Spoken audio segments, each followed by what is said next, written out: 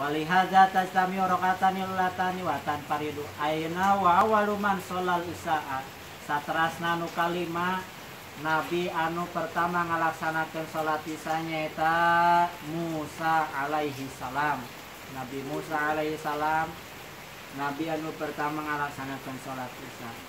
Irahan Nabi Isa ngalaksanakan sholat isana Hina dolla anit toriki Di saat Nabi Nabi Musa kasasar ke di jalan Kasasar ke di jalan Eta Nabi Musa teh.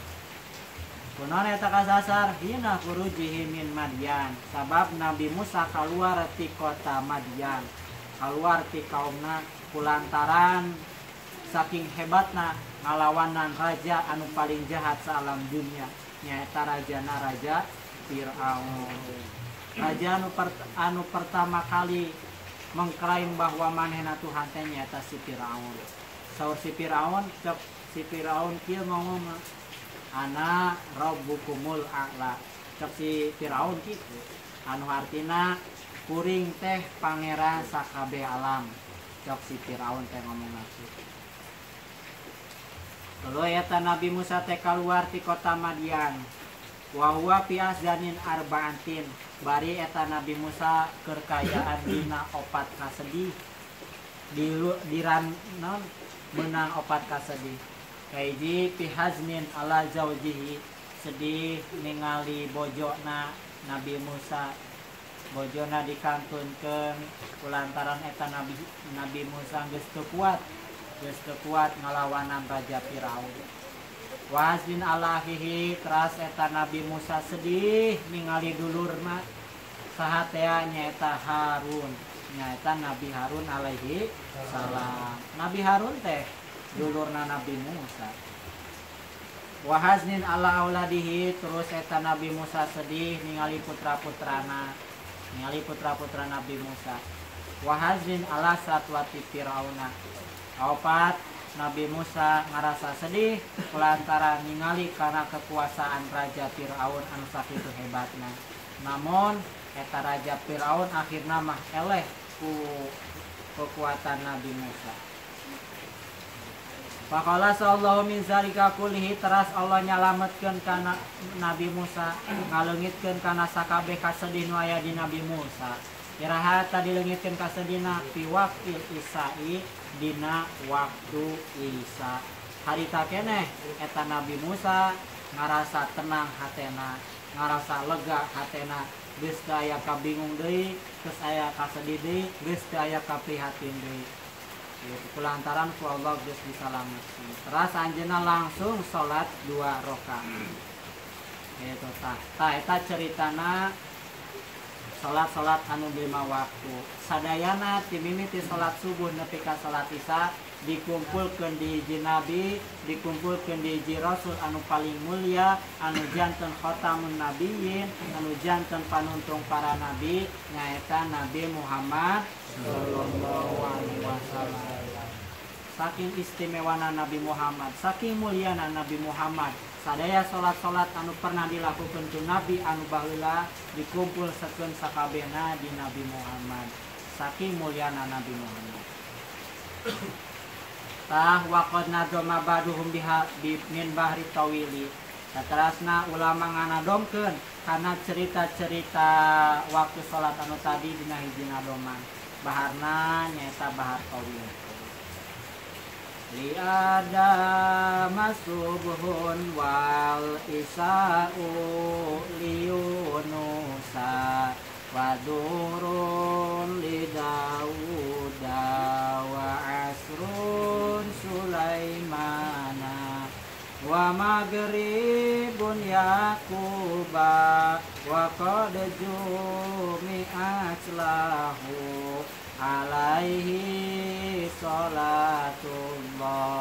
isiran wa ilanan arapal santri Sarapal, apal naon?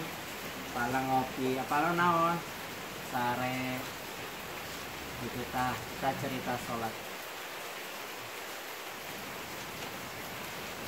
Saterasna deui masih ngabahas tentang sholat hari tadi mah hikmah-hikmah dibalik eh, waktu sholat hari ayu nama hikmah dibalik bilangan-bilangan rokaat sholat. Wa hikmatu ada di rokati sholawatil khomsi. Dina rokat rokat sholat anu lima waktu eta teh aya hikmah-hikmah dibalikna non beta hikmahna. Asyukru ala ni'ami alati fil hawasil khomsi. Hikmahna nyaeta kangge syukuran karena nikmat anu aya dina awak kurang khususna nikmat anu aya dina panca indra urang anu lima. Tahik manate itu? Wa minha wa zalika anna rakaati subisintani salat subuh diparentahkeun dua rakaat non fungsina non hikmana dibalik dua rakaat salat subuh. Nah eta li anna lamsa yudikunu umata wal husunata Salat subuh dua rakaat teh kangge syukuran. Syukuran karena nikmat ku Allah urang teh geus dibere nikmat lamsu. Artina lamsu teh nyata nyabak ngaragap bisa nyabak anu lemes, bisa nyabak anu kasar. Eta teh saruan eta teh mangrupikeun nikmat. Coba we bayangkeun lamun orang misalkan ieu leungeuna teu bisa ngaragap anu kasar. Teu bisa ngaragap anu anu lemes atuh atuh moal ngarasan gitu eta. Hikmah dibalik salat subuh dua rakaat. Kangge syukuran karena ku Allah geus dipapari nikmat. Parokatani li syukri alaihima. Dua rakaat deui kangge urang syukuran karena Allah urang teh geus ditutupan tina sadaya kasalahan anak dengan orang geus diraksa ku Allah dengan orang geus dijaga ku Allah tina rumpa rampa anu teu halal tina rugap ragap anu teu halal eta diraksa ku Allah dina salat subuh dua rakaat. Wa rakaati zuhri. Salat duhur opat rakaat naon hikmah dibalik na opat rakaat nyaeta li anna sama yudrikul masmuma kangge syukuran karena nikmat ngambe tina opat harah nyaeta hareup buri katuhu jeung kengka. Nikmat irung orang bisa ngangse nikmat irung orang bisa ngambe nyaeta disyukurana ku salat duhur opat rakaat walisat lil khotoya minhu jengajaga tina irung orang supaya hidung orang tengah lakukan kesalahan Wana rokatalah siar baun. Satrasna salat asar opat rokaat. Non hikmah dibalik opat rokaat salat asar. Nyata lianna sam'a yudikul masmu'a. Karena syukuran Urang teh kuolo geus dibere nikmat ngadenge. Kuolo urang geus bisa Geus dibere nikmat ngadenge Ngadenge ti hareup Ngadenge ti buri Ngadenge di kencah Ngadenge ti katutah Eta hikmah nake itu Wa rakatil maghribi salasun satarasna salat maghrib. Hari salat maghrib mah tilu rakaat non pana tilu rakaat? Nyata kangge syukuran kurang geus dibere nikmat ningali ku Allah. Kurang dibere panon bisa ningali eta teh kudu disyukuran kurang kuma syukuran anak nyata cara salat maghrib tilu rakaat syukuran kurang bisa ningali kahareup. Syukuran pulang bisa ningali kakak tuhu syukuran orang bisa ningali kakenca. Non panat bisa ningali kaburi. Damal ayah bisa ningali kaburi. Iwalki ningali kana kaca. Gitu. Lama ningali kaburi pasti kudu malik heula.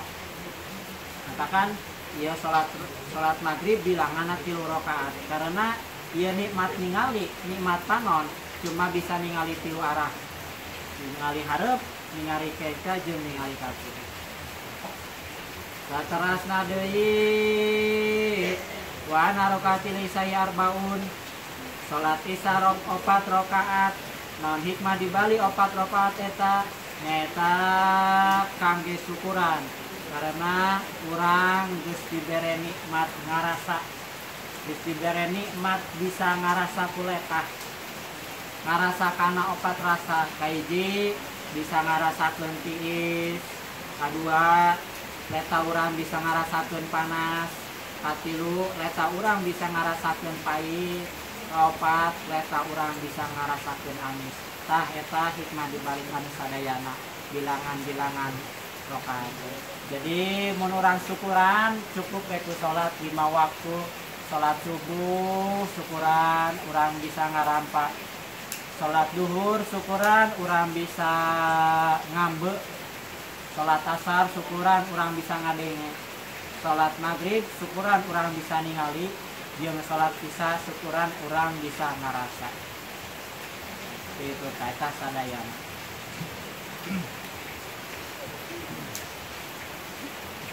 Ana salata mahalun munajat abdi kudu kanyaokeun kurang bahwa sanyana salat teh eta mangrupikeun cara urang munajat ka Allah.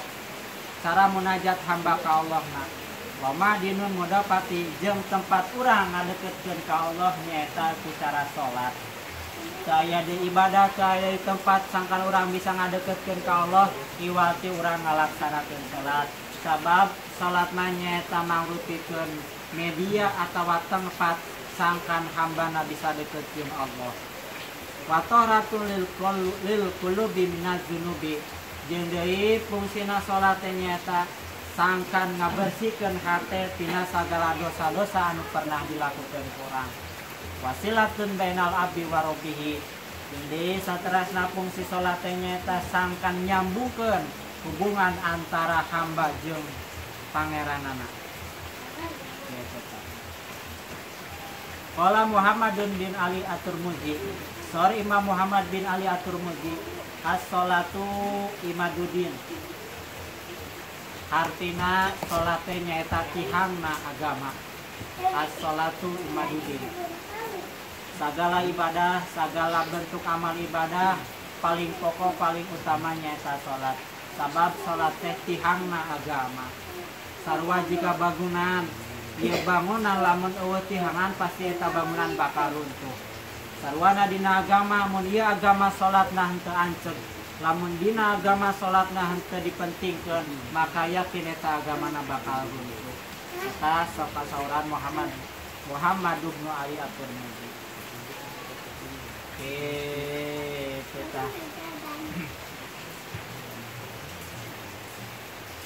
Wala mana sarto kubulil ibadati satrasna. Urang sholat teh kudu nyumponan kana syarat-syarat jeung rukuna.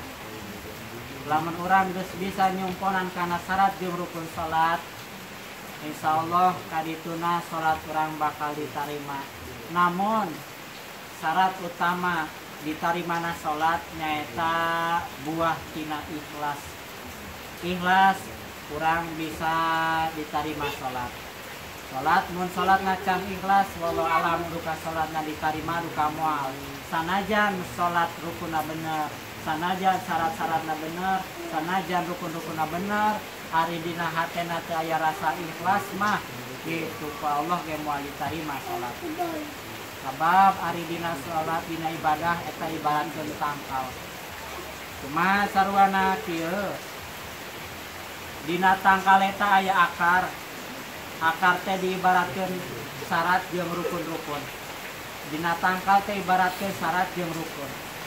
Tuluy dina tangkal aya aya batang. Batangna nyaeta diibaratkeun pasunatan pasunatanana. Cabangna diibaratkeun pasunatanana. Aya sunat hayat aya sunat abad. Tuluy tina tangkal eta aya buahan. Non buahna buahna nyata ikhlas. Matakan supaya orang hayang bisa menghasilkan tangkal anu buahan matakan sing bener heula akarna sing alus heula cabangna sing alus heula dahana sing subur heula tangkalna. Maka lamun eta tangkal geus subur geus loba dahanan geus loba cabangan maka yakin buahna ge bakal loba. Buahna nyaeta ikhlas. Maka insyaallah ibadah orang salat orang lamun geus bener syarat rukuna jeung bener dina hatena ikhlas maka ibadahna bakal diterima ku Allah Subhanahu wa taala.